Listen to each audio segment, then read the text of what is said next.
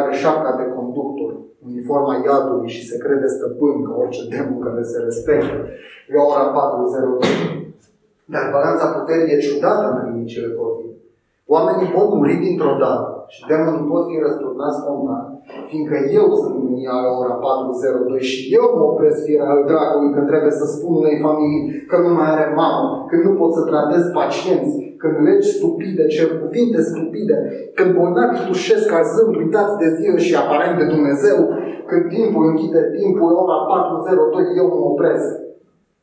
Eu mă opresc, fiindcă la primirea vremii se va face ora 6.05 și mi se va da să mărturisesc familiei cele ce le-am văzut, să leg rănile, turnând pe ele un de lemn și fin. Am avut astăzi uh, bucuria de a-l cunoaște pe poetul Horea Marchean, uh, un poet dublat de un uh, psiholog, psihiatru, da, și a fost o onoare pentru noi să-l primim la cele trei clase, o clasă a 11A, o clasă a 12C și o clasă a 11E. Cred că asta e foarte important să vadă elevii noștri și adolescenții de astăzi, faptul că uh, scriitorul contemporan se mișcă în lumea asta haotică, cu problemele ei și încearcă să-i dea un sens și încearcă să-i dea o direcție și încearcă să-și găsească sensul în lumea asta. Și cred că pentru ei a fost foarte important faptul că li s-au adus în față uh, probleme de maximă actualitate.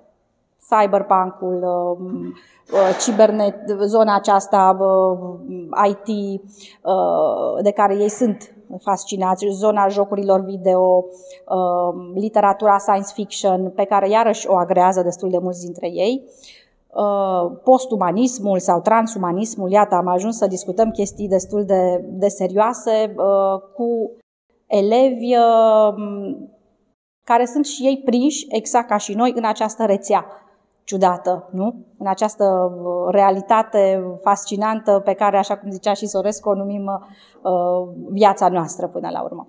Păi, sincer, am uitat că o să avem această oră și m-a luat un pic prin surprindere, dar uh, chiar mi-a plăcut, a fost chiar foarte interesant și am picat chiar pe subiect. Îmi place poezia, îmi place arta, îmi place să scriu, îmi place să mă întâlnesc cu alți artiști, cu alți scriitori și îmi place mult să interacționez, să le văd modul lor de gândire. Și ora asta chiar am simțit că sunt oameni uh, pe aceeași lungime de undă cu mine.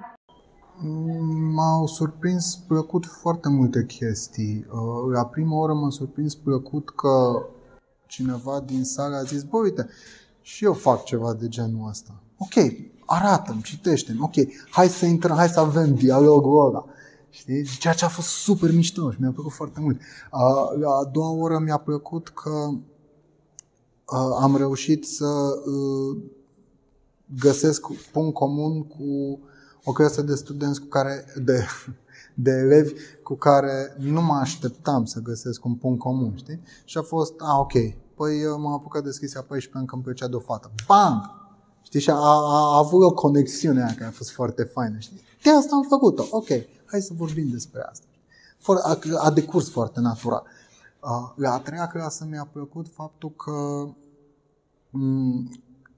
am putut să intru, chiar dacă a fost mai tensionat și a fost mai greu un pic, am putut să intru în niște chestii mai serioase, niște poezii, cel puțin una dintre ele, care privea un deces cu care am putut să, puști cu care am putut să discut, ok, există realități, hai să vedem cum le transpunem în ceea ce facem. Nu știu cât de bine am atins chestia asta. Acum, retrospectiv privind, poate că aș fi putut să fac mai bine. Dar e bine că am spart un pic uh, barierele dintre lumile astea două, știi? Și poate că unii dintre ei vor fi interesați și nu, nu știu dacă se vor apuca să scrie sau wow, e, man, ne inspira Horia Marchian să scrie Get over yourself.